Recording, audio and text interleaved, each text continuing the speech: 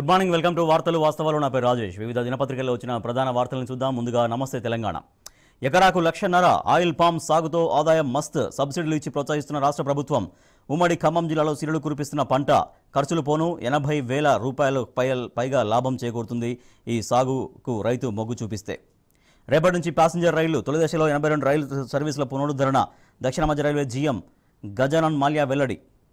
October ఒకటి నుంచి క్లాసులు సెప్టెంబర్ ముప్పై లోపు ప్రవేశాలు పూర్తి చేయాలి. ఫైనల్ ఇయర్ పరీక్షల నిర్వహణ తప్పనిసరి. వర్సిటీలు కాలేజీలకు యూజీసీ ఆదేశాలు. ఈనాడు నాడీ పట్టని భావి వైద్యులు వైద్య విద్యలు ఎన్నడూ లేని వైపరీత్యం ఏడాదిన్నరగా క్లినికల్స్ ప్రాక్టికల్స్కు దూరం. ఏ బోర్డుకు లేనన్ని విస్తృత అధికారులు కృష్ణా గోదావరి బోర్డులకు కల్పించిన కేంద్రం. గీత దాటితే జరిమానాలు గెజిట్ నోటిఫికేషన్లో స్పష్టీకరణ. మధ్యవర్తిత్వమే ఉత్తమం సంధి కుదరకపోతే వినాశమేనని కృష్ణ రాయబారం చాటింది.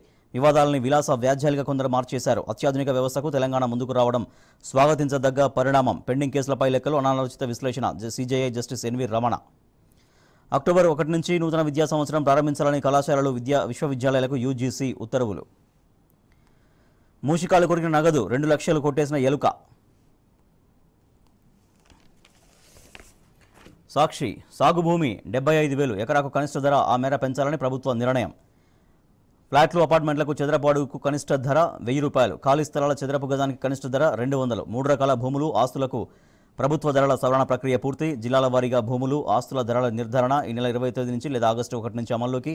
త్వరలో ప్రభుత్వ ఉత్తర్వులు. ప్రస్తుతం ఉన్న ఆరు శాతం నుంచి ఏడు పాయింట్ ఐదు శాతానికి పెరగనున్న రిజిస్ట్రేషన్ ఫీజు.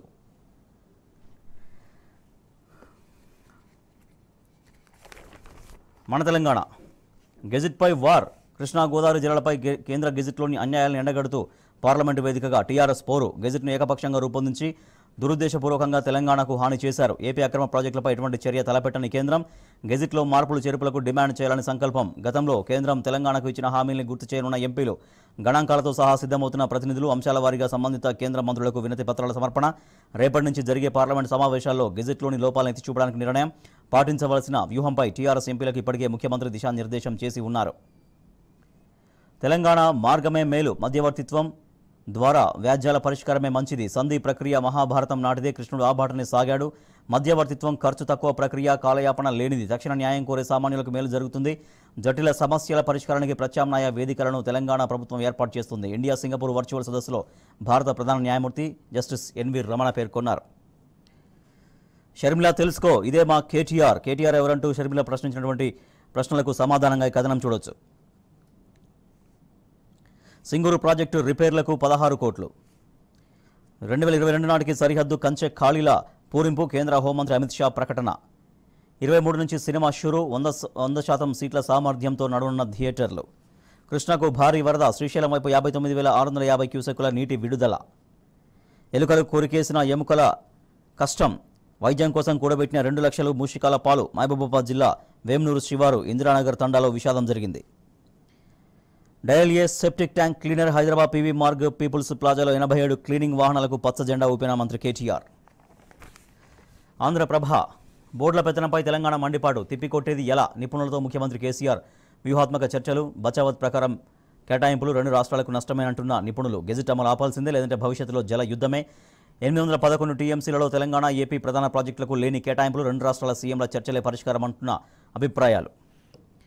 నేటి నుంచి థియేటర్స్ ఓపెన్ ఇరవై మూడు నుంచి కొత్త సినిమాల ప్రదర్శన. ప్రభుత్వం ఆదుకోవాలంటూ మంత్రి తలసానికి ఎగ్జిబిటర్ల విజ్ఞప్తి. సెప్టెంబర్ పది నుంచి గణేష్ ఉత్సవాలు పంతొమ్మిదిన నిమజ్జనం నలభై అడుగులతో ఖైరతాబాద్ వినాయక విగ్రహం కోవిడ్ మార్గదర్శకాలతో నిర్వహణ.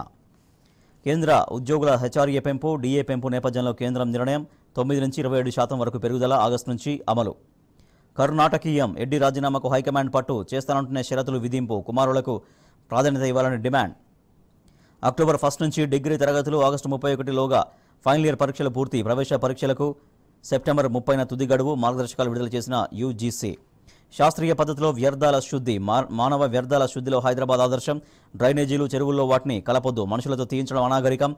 ఇప్పటికే సెవెంటీ వన్ ఎఫ్ఎస్టీపీలు నిర్మిస్తున్నాం. త్వరలో మరో అరవై ఎనిమిది నిర్మిస్తాం. డయల్ యువర్ సెప్టిక్ ట్యాంకర్ ప్రారంభించిన మంత్రి కేటీఆర్.